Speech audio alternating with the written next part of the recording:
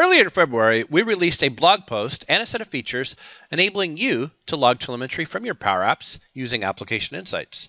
In today's video, I'm going to show you how you would implement that to actually go out and create your very own Send a Smiles. Let's go ahead and take a look at the report that I've done at the end. In this report, you can see that I've actually been collecting data for a little while, and I've got 505 different ratings or send a smiles from my application. And the average is 0.22. So every time somebody goes out and gives me a frowny face or an unhappy, I give it a negative one. And every time I get a positive um, smile or a smile, I give it a one. And you can see that I'm actually above the board. Um, in this report, you can see that I actually must have had a release or some sort of experiences that made people unhappy. So how do you create that? Let's get started. If I go back to my browser and go into Microsoft Azure, you can see that Microsoft applic or, yeah, Application Insights is one of my options itself. To create a brand new Application Insights um, package, I can go ahead and say Add. And I'm going to go ahead and put that into my Chazkill, and we'll just call this one uh, Power Apps Video. Okay. And at this point, I can go ahead and re review and create. Now, I want to actually have data that's already there just to make it easier for us. So what I'm going to do is go ahead and go back into my application insights and show you one, one that is just finished um, created. So if I click here, uh, what you're going to see is that I can go out and grab the instrumentation key. This is what I need to actually get started. But we can go ahead and take a look at some of these other things. By the way, um, I have some requests and some people are asking, how come these boxes are not populated from a Power Apps? And the reason is, is these are actually populated from an agent that is installed on the runtime. Uh, does that doesn't make quite as much sense for Power Apps, but we'll take a look at some of the actually areas that are populated and some that you can take advantage of very, very easily. So now that we've got that instrumentation key, one more time, I'll copy that. Let's go to Power Apps. At the bottom of my create experience for Power Apps, a lot of people actually don't look at this. I can see that there is a leave application. So let's go ahead and create a leave application. Now this is the third time I've done it, so we'll call this one the third video. Uh, maybe without the three, apparently. Okay. And what I want to do here is on every page in my leave application, add a little one of those glyphs for the um, smiley face or the frowny face. So the easiest way to do that is to use something called a component. And that enables me to write the code once or actually go out and do the markup once and then use that same component across my entire application. So I don't see components here. Let's go ahead and go to File, Settings, Advanced Settings, and about two-thirds of the way down, I believe, is Components. There we go. Now when I scroll back, it says Components. I can go ahead and add a new component. Let's call this one Send a Smile. Uh, this is way too big, so what we're going to do is maybe make the width, uh, I don't know, it's like 150, sounds good and way, way too tall now, and maybe we just make that 100. That's still too tall. How about 50 for the height? Perfect. Now what we're going to do is go ahead and go to Insert, Icons, and um, um, um, um, give me a frowny face. I Want him over here. Come on, Mr. Frowny Face. I want you over here. And let's go back into icons and give me a smiley face. Oh, there he was. And I want a smiley face. Wonder how come the smiley face is above the frowny face. Okay, now what I can do is I can go ahead and write my trace function. But I just realized what I had forgotten to do, which is vitally important, is to put that instrumentation key into my application. Let's go back to screens, go to the apps, and you can see that there's that brand new property and I could go ahead and paste in my instrumentation key. Where did I get that? From my application insights, and I copied that from my instrumentation key. By the way, um, this is supposed to be a secret. Don't share this. But if you guys pipe a bunch of data into my application insights, it's not going to hurt anything because I actually check it with Power BI, and I, I just wouldn't bring that data in.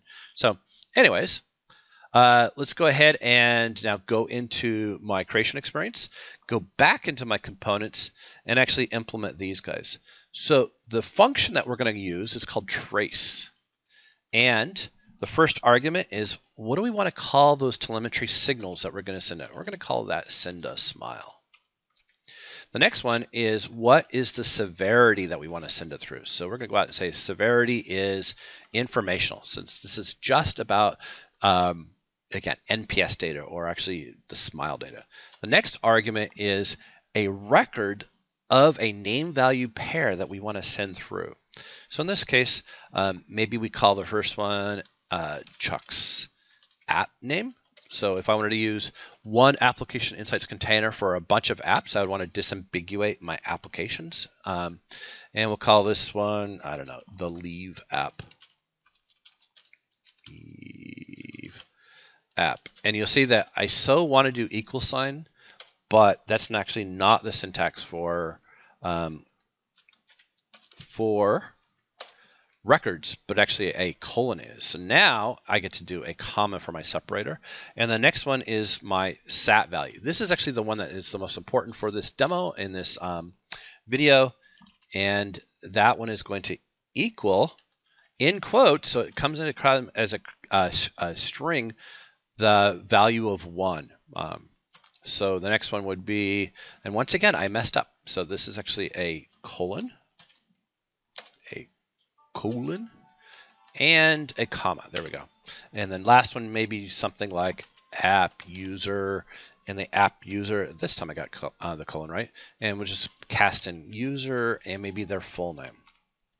Uh, I need to do the end of the, the record itself. And I can go ahead and actually close that. So let's actually copy all of that. Um, this is positive one for a smiley face. Good. And now if we actually go back in here paste this in for my unhappy face, my grouchy face, and we'll do a negative one. Um, we can now put this throughout our application. So let's go ahead and go back into here, go to custom, and we should find our send a smile, and we'll put that right there. Um, now, I know that we should be making these white with um, and then clicking them up there. That would be the right way of doing it.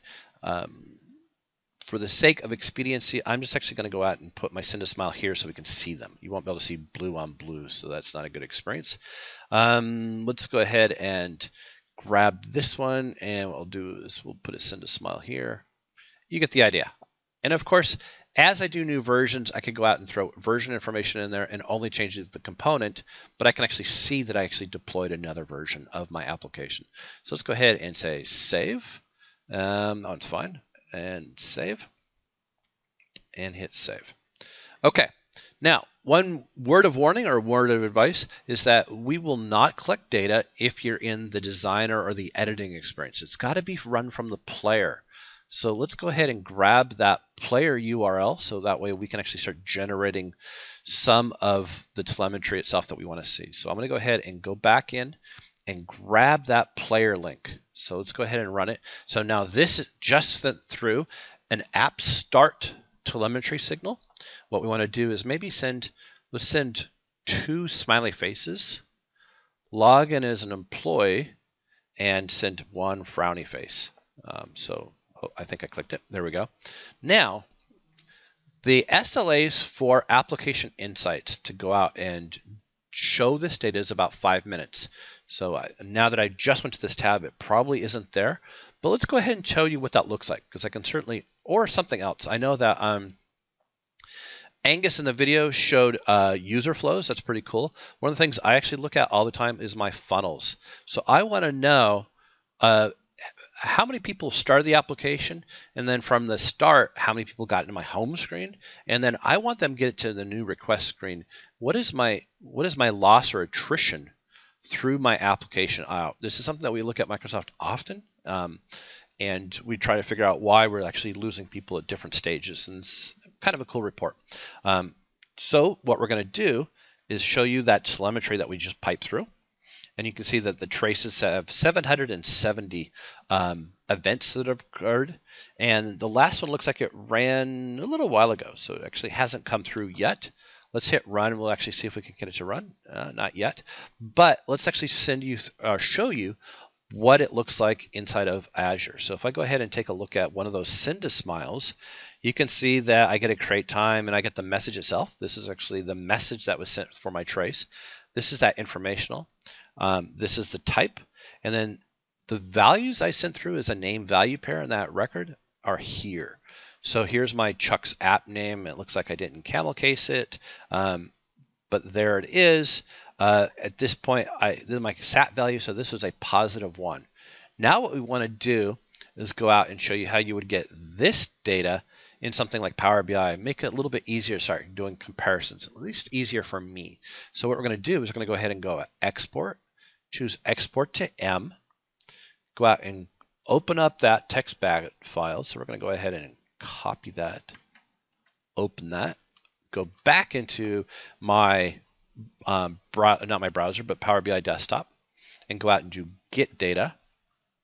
And underneath of my get data, I'm going to go ahead and say blank query.